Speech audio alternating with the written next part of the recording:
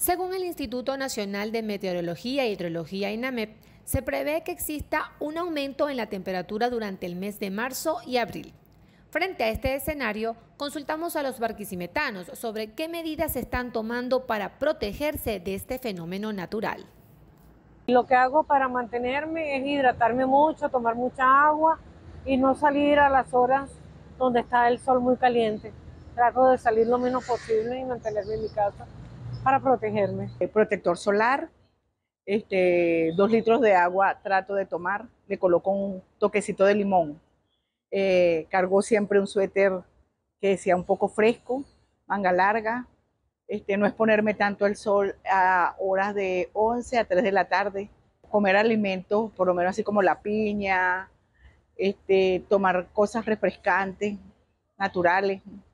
Bueno, la verdad no hago gran cosa, porque no todos somos iguales, no todos nos cuidamos tanto. Eh, en mi realidad lo único que uso es una base que lleva protector solar y del resto tomar mucha agua todo el día. Pero obviamente porque no me expongo muchísimo al sol, mayormente estoy en el centro comercial trabajando y así que el resto no, no tomo tanto sol como las otras personas. El calor es insoportable. Además, tanto así que eh, aquí en el centro comercial tenemos aire y aún así se siente el calor muchísimo. Pero camisa larga y sombrero. soy hombre de campo. Y me he hecho cremitas de sábila. Las más medidas de Estados Unidos. Muy fuerte, fuerte, fuerte. Mucho. Y aquí ya me trabajé en el sombrero estado guárico. Horrible la temperatura.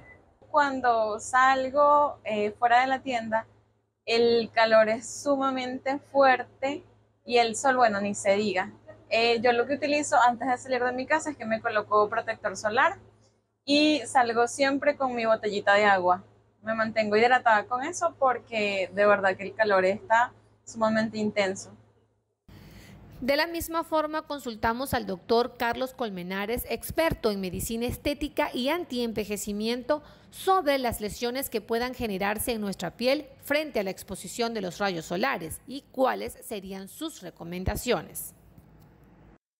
En cuanto a las complicaciones a nivel cutáneo, eh, por estas altas o elevadas temperaturas, tenemos que la piel, al exponerla a estas temperaturas, eh, existe mayor calor, ¿ok? Este calor va a someter a la piel, al cuerpo, a mayor transpiración, mayor sudoración. Por ende, el organismo o la persona o el paciente en este caso puede deshidratarse, deshidratarse, deshidratar la piel. Esto va a ocasionar que la piel esté reseca em, y pueda tener lesiones, eh, por ejemplo, tipos dermatitis, tipo urticaria, comezón, picazón. Puede haber irritación en zonas de pliegues, específicamente en la mujer debajo de los senos, eh, en pliegues de codos, pliegues de rodilla, entre piernas, axilas, entre otros. En cuanto a las recomendaciones, medidas generales, mantenerse muy hidratado, consumir abundantes líquidos, abundante agua, alimentarse con frutas, vegetales, verduras, alimentos frescos, utilizar prendas de vestir que sean frescas, que sean holgadas, cómodas. Em, la fotoprotección es sumamente importante, utilizar protector solar diario si la exposición es prolongada, debemos retocar el protector solar a ciertas horas del día. Podemos utilizar medidas de protección como sombrillas, eh, paraguas, eh, gorras, sombreros. Reportó para ustedes Nelly Carolina González, Promar Televisión.